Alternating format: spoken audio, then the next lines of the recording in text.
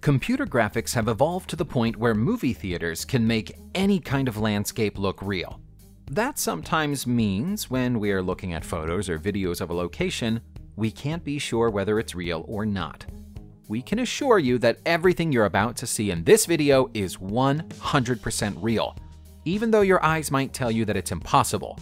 These are simply some of the most amazing, breathtaking places on Earth. Kaindy Lake in Kazakhstan is a place so beautiful that it's hard to believe it came from something so violent. The lake never existed at all until an earthquake struck this part of the Tian Shan Mountains in 1911, causing a landslide that resulted in the creation of a stunning natural dam. Over the course of the next 100 years, rainwater has slowly filled the dam to give it its current appearance. The bleached spruce trees that jut out of the water reflect perfectly off the surface of the turquoise lake to create a stunning optical illusion. But below the water, things are even more remarkable. The portion of the trees beneath the water are still alive, which makes it look like you're swimming through an upside down underwater forest. Even though it's so pretty, the lake gets few visitors because the Kolsai Lakes are only a few miles down the road and are more popular with the locals. This is a perfect place to come and relax in total serenity. In the southern Urals of Russia, we can find the mysterious archaeological site of Arkaim, sometimes referred to as the City of the Sun. Some people call this the Russian equivalent of Stonehenge, but even Stonehenge can't compete with Arkaim when it comes to age. This old fortress is around 3,000 years old we say fortress because that was the site's most likely use. It was surrounded by two circular walls and a moat, so it was heavily guarded. Within those walls were 35 houses, so you could even consider it as a small and well protected town. Primitive water and sewage systems existed at Arkaim, suggesting a degree of sophistication that went with the ritualistic sacrifice of animals, which has been proven by animal bones found at the site. The design isn't typical of the Bronze Age, and so some historians believe it might have been inspired by Troy. Nobody can say for sure who built it, but the most likely architects were early Indo Europeans, possibly the Aryans. The most common association with the word psychedelic is the music and culture of the late 1960s, so it's not an expression you'd commonly associate with salt mines.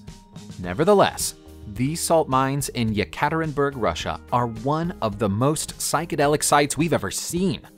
Looking at the color and intricacy of the patterns on these walls, it's hard to believe that the design was created by nature instead of humanity, but it was. The long abandoned salt mines are some 650 feet below the city that lives above them, and would make a great place for a nightclub if someone could get a license. The patterns are down to a mineral called carnallite, which has swirled through the walls over millions of years, completely covering the rocks in a variety of shades. The tunnels stretch on for miles in many directions, and it would be easy to get lost in them without a tour guide. Getting a guide is the only way you'll gain entry. They're accessible only with a permit from the government. Did you ever have a teacher at school who you thought was a little strange and made you wonder what they got up to outside of school hours? Perhaps that teacher was a little like Canadian Peter Camani, who has built Midlothian Castle in Burk's Falls, Ontario, with his own two hands. For reasons best known to himself, he's made it one of the most terrifying castles in the world.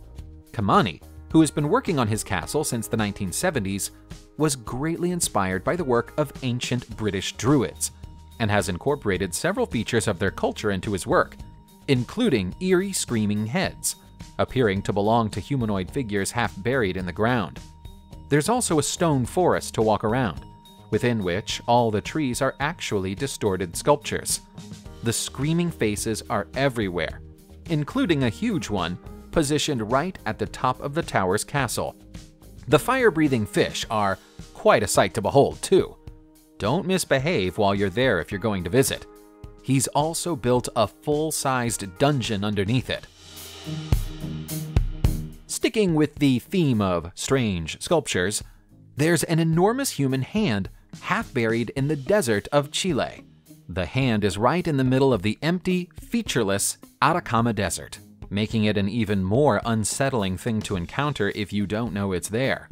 All you'll find on either side of it is hundreds of miles of the Pan American Highway. The nearest town is Antofagasta, and that's 50 miles away.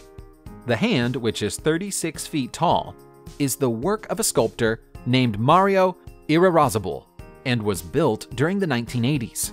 Its name is Mano e Deserto, which literally translates as the Hand of the Desert. As strange as it is to see in isolation, it isn't the first time the artist has decided to grace a landscape with an oversized hand. He did the same thing with Monument to the Drowned, which can be found in Punta del Este in Uruguay. Even after over 30 years, each wrinkle of the skin on the hand is still clearly visible. The human mind has a way of seeing human features in all sorts of places, which explains the popularity of the next amazing site on our world tour. This is Prohodna Cave in Bulgaria, which is better known to tourists as the Eyes of God. The reason for its heavenly nickname is obvious. The cave has perfectly symmetrical eye shaped holes in its roof, offering people inside the cave the chance to peer out at the skies from below the surface. The cave is around 1,000 feet long, and at night, the eyes provide perfect illumination from the night sky to give it an otherworldly atmosphere. While the eyes were undoubtedly formed by natural erosion, some geologists feel they've since been accentuated by human hands. They don't just look like eyes. Thanks to the water that frequently runs down the cave walls, they also cry like eyes. Tears aren't the only things that fall here, though. The cave has become a popular site for bungee jumpers. Cappadocia, which is in the Nevşehir province of Turkey, looks like something out of a fantasy movie. If a film producer ever wanted to recreate the surface of an alien world, complete with alien houses and buildings, they could save on their special effects budget and just go to Turkey instead. This is a whole city which has been carved into the face of volcanic rock formations. The uneven yet beautiful structure of the settlement looks like it was formed organically, and much of it was.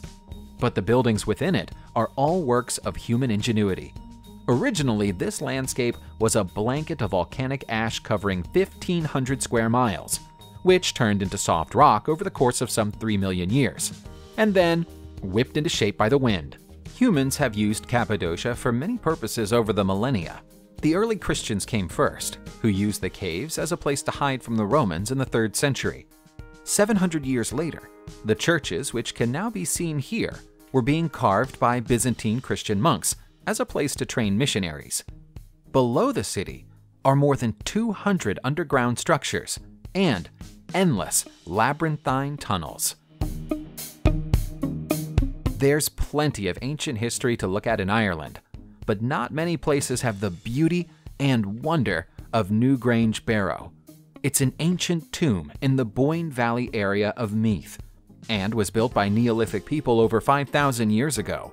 Even though it's older than both Stonehenge and the pyramids of Giza, it's remarkably well preserved, with the intricate swirling patterns in the rock still sharp and clearly defined.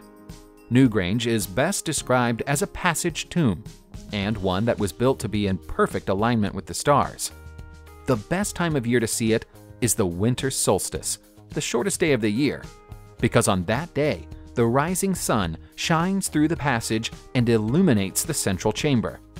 This would have likely had a special meaning to the people who use the site, although nobody knows precisely what that meaning might be.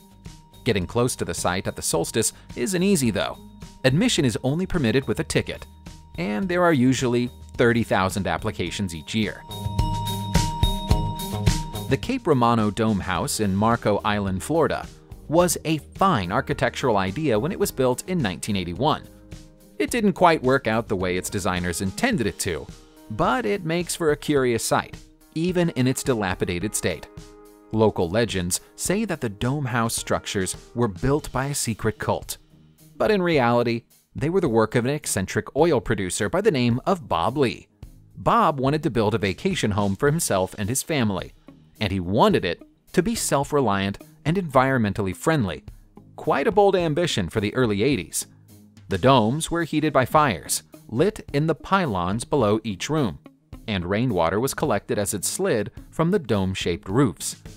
The unusual home stood up well to the weather, but couldn't deal with coastal erosion on the island. The land slipped, and the beach below the house lost stability. Sadly, the buildings can't be salvaged for human use, but there are plenty of birds and fish who have made homes in and around them. We have good news for feline lovers. Cat Island in Japan is exactly what it sounds like. The correct name for the tiny, one mile long strip of land is actually Aoshima, but as cats are the dominant population, they have the right to have it named after them. Cats outnumber the humans on the island by a ratio of more than 10 to 1. This has happened because Aoshima was once populated by roughly 800 fishermen who kept pet cats.